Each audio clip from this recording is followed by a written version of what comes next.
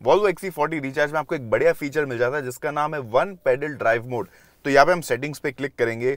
Driving में जाना है आपको, और नीचे यहाँ पे स्क्रॉल करके वन पेडल ड्राइव को बेसिकली एक्टिवेट करना है। तो ये एक्टिवेट हो गया। तो इससे क्या होता है कि जब आप गाड़ी का एक्सीटर को दबाते ऑब्वियसली गाड़ी एक्सलरेट करती है, लेकिन ब्रेक पेडल को आपको यूज़ जरा भी नहीं करना है। एक्सीटर आप छोड़ेंगे तो गाड़ी अपने आप रुक जाएगी। तो आइए वो देखते हैं। तो आप देख सकते हैं, मेरा पैर सिर्फ़ एक्सलेटर पे है। मैं ब्रेक पेडल को यूज़ जरा भी नहीं करूँगा। अभी हम एक्सलेट कर रहे हैं गाड़ी। मैंने थोड़ी रफ्तार से चलाई है। अराउंड थर्टी के स्पीड पे गाड़ी चल रही है और मैंने एक्सलरेटर छोड़ दिया। गाड़ी ने डेसलरेट किया है और अपने आप हॉल्ट पे आ गई है। आइए वापस देखते हैं। मैं गाड़ी को चला रहा हूँ। और अब मैंने छोड़ दिया एक्सलरेटर गाड़ी रुक गई।